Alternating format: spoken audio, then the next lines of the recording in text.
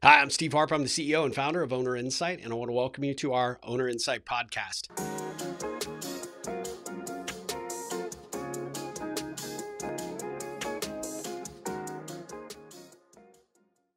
This is going to be a really short episode. It's in follow up to our previous episode, which was talking about the school bond elections.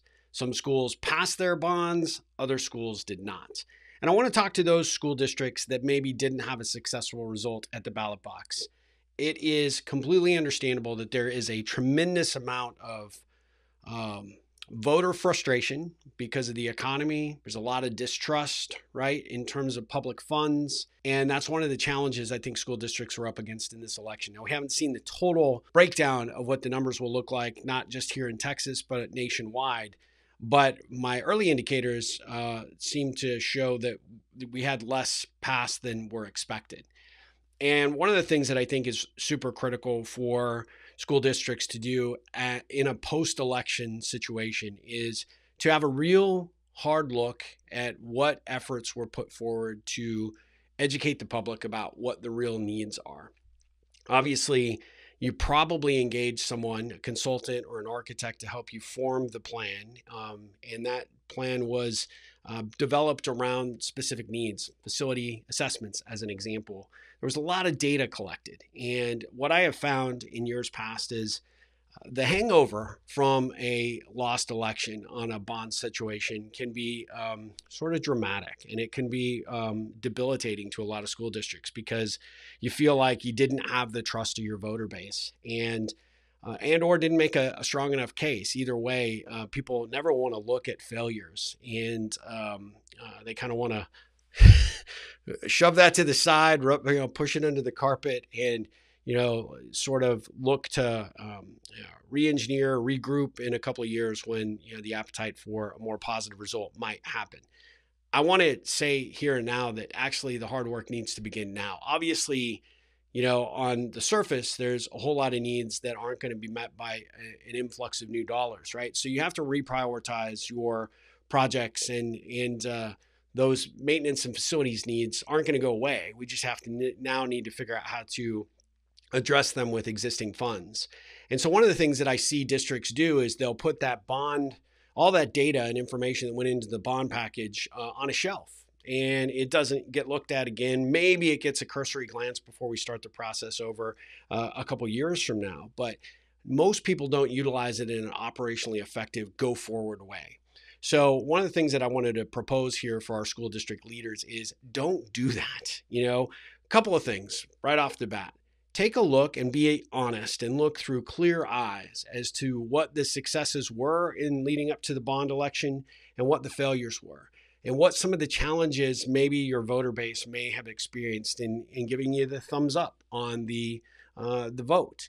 And really diving in and understanding what um, you know what was the you know what was the attitude of your constituents? What were some of the concerns? And that that means that school leaders need to ask for that input ask for that guidance set up some community meetings and and ask them what they needed to hear or see to have uh, a, a, you know their vote go a different direction. That's important. Um, i call it a post-mortem right? When we lose a sale opportunity we always kind of go back and say what could we have done better? Uh, where were our fallbacks? And oftentimes we'll go back to the prospect that may have selected someone else and we'll say, hey, what could we have done? You know, what what helped lead you that direction or helped you, um, you know, sort of uh, move one way or versus our way? And the the information, if you come hat in hand, not crying over spilt milk, but you literally want to learn to get better, uh, you'll find that people will generally tell you, hey, I, I didn't like the communication message. I I felt like there was too much emphasis on new facilities or athletics. And, you know, I see my, you know, child's elementary school falling down around his ears, right? You know, I think that having those uh, ability to hear that input and, and to get that guidance from your voter base is invaluable. I would also say I would look very closely at the team that you assembled to help you do the run up for the bond, right? Uh, the professionals outside the district that were hired to help you market this, help to get the word out, to uh, figure out what the pulse of the uh, voter base might be and, and where the disconnects were there. And I'm not saying assign blame. I'm saying learn from the potential failure or learn from the failure what could have been potentially improved, adjusted. Um, you know, were we sort of going on blind faith or building uh, a, a, case around um, uh, our facility needs and we didn't do a good enough job at explaining what those were, giving those proof points along the way? Uh, either through written or web material that was distributed so that your voters could make an informed decision. And then look at the team, right? How committed were they to engaging your public? How committed were they to actually putting boots on the ground and getting engaged and having conversations? I think that's a real critical factor because you're going to eventually be approached about them doing it again, or you'll have to consider another team. And really, what is helpful for your district is to look at what didn't work and understand it, shine a light on those things. I know it can be uncomfortable and it can be frustrating, but understanding what doesn't work is one of the first steps to getting a successful outcome the next time around.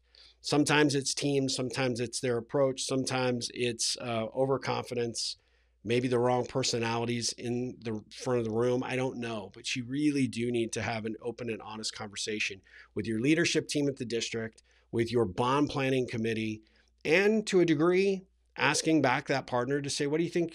Where did it go wrong? What happened and why? So that's an important aspect. The other aspect I said uh, was, you know, now we've got to start the war from here, right? So where is that list of needs? How are we going to organize it and reshift our plan, right? Because you got to build a whole new plan. So how are we going to address these things with existing funds and start building um, a game plan around that? And that's pretty critical. And this is where I see a bigger mistake for districts is they often don't get the data. They don't get the information that went into that plan to make it operationally effective to them. So you as a district paid for this. You need to control that information and that data. We have a tool called Facility Insight that can help sort of organize that information for you. But whether it's our tool or any other tool, um, you need to own it. I often find that the districts walk away with pretty looking reports and they often uh, walk away with a, a nice bond plan, but they don't actually have the data that went into it. And you paid for that data from your partners. And it's critical that you get it, you understand it, and then it becomes or it gets placed in a in an environment that makes it uh, operationally effective for you to have a go forward plan or to start to formulate that. And I think that's a big big factor that districts don't think about, and it's a it's a major uh, challenge because you know everybody wants to move on from a loss, including your consultant or your architect, because nobody likes to be reminded of things that didn't work out. But there's so many lessons that can be gained by understanding what didn't work, where you could have improved, what the messaging needed to be, and getting that direct feedback from your constituents, I think is super critical. And um, it'll be certainly valuable for you as you formulate your next go go forward plan with uh, your next bond. So, but I think at the end of the day, I think it's also so critical for you to have the information and the data in a way that the district owns. Because you know probably a vast majority of um, the efforts that went into this were generated around the assessment work, the pictures and the documentation and that needs to be in an environment that you can say okay great you know this is what we're going to you know utilize to help us make some upcoming decisions in the short and medium term and long term this data also helps inform us what we're going to have to do in the next you know 3 to 5 to 10 years. And you've got to have that in a in a in a place that is easily accessible highly collaborative and allows you to start putting the work in right now for whatever comes next I know that a loss um, on any level really stinks, and I know that it is um, it's frustrating in a lot of ways. You guys are rock star heroes. Those of you that are leading school districts, you're trying to provide the best facilities uh, for your students and your staff, and you're trying to do the very best you can with limited budgets. And I get that. But uh, I want you to make sure you don't throw the baby out with the bathwater, as I see so many districts do. Uh, they they want to run from the failure. They want to run from the loss. They don't want to look at what what uh, you know what was in the plan uh, because it hurts, and you feel like uh, you were let down by your voter base. And I get that totally. Um, but at the end of the day, um, there's a lot of positives that can be gained from that no, and there's a lot of hard work that still needs to be done. So you can't ignore it, and you can't just um, you know just let it stagnate. It's uh, it's clearly uh, it's clearly something that I think that you need to utilize to get better and to uh, organize a new game plan. And as I said before, you got to start the war from here, right? So how do we real, you know, how do we address what needs to be addressed immediately, what needs to be addressed in the near term, and then ultimately how do we start planning for the future and delivering a approach and a plan that you can get early acceptance and understanding by your constituents and one way to do that is to having clear line of sight into the data, the information, the collection of it. Um, I can't tell you how important it is for a school leader to be at a community event and somebody says, "Hey, you know, my little Johnny goes to you know XYZ elementary school, and you know, I'm just very unhappy with the condition of the the school." How powerful it is for that leader to be able to say, "Well, let me show you what we're dealing with here at this campus, and then let me show you in comparison to all the campuses." And I know you're unhappy, and, and I'm unhappy too. We need to find a way to partner together to address these things. And I'd really like to invite you to be a part of the process. I was telling somebody yesterday, you know, in the tech world, um, you know, good CEOs often, you know, come to the table and say, look, don't bring me the problems, bring me the solutions because where uh, the people that are in the trenches, that are in the uh, you know, in the day-to-day fight, often know what needs to be done long before you know the higher ups do. And so, as a district leadership team, I ask you to trust in your people, trust in the you know the approach that you are going to take going forward to have this data and information that's already been collected, already been paid for to help you inform what those right next steps are. Ask the deeper questions. Be willing to come to the table and have honest conversations and when you can collect it in a way that allows you to be able to boop, pop this open on your laptop or your cell phone and show a constituent, this is the work that went into this. This is what we're trying to accomplish. And here's where our shortfalls are, and here's where our issues are. Uh, every district has these problems, big and small. And so, the more that you can make the the process as transparent as you can for your constituents to see this is how we arrived at this list of needs, how we arrived at the cost for uh, addressing those needs. And we can back that up with, you know, data that is uh, informative, not sort of, you know, smoke and mirrors. You are setting yourself up for a much better conversation along the way. You're gaining trust. You're building uh, visibility for what those needs are, and who knows uh, where those conversations could lead to get the right kinds of people energized within your community to help you the next time you go out to bond or at minimum become active contributors right now to help you do what you can with what you have so i wanted to just make this episode as a follow-up to the last episode because i think it's super important um, owner insite and our solution of tools, we've built them for school districts to really add value and to solve problems that we have seen firsthand at the district level. And we'd love an opportunity to have a conversation with you and tell you where we think we can contribute and add value.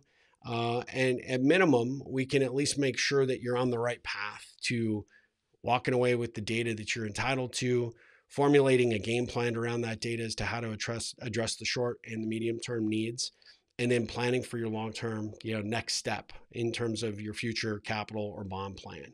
So uh, reach out to us. We would love to have that conversation and uh, you know share some of the benefits of our experience and what we've seen and uh, not um, you know try to help you not have an unsuccessful run the next time uh, by utilizing data and this different more informed approach uh, to making sure that you are putting your best effort uh, forward you know, all the time. So that is um, that's just something I wanted to share. I, I certainly know that a loss is not one of those positive experiences, but you can learn from this loss and you can come back stronger and better because of it.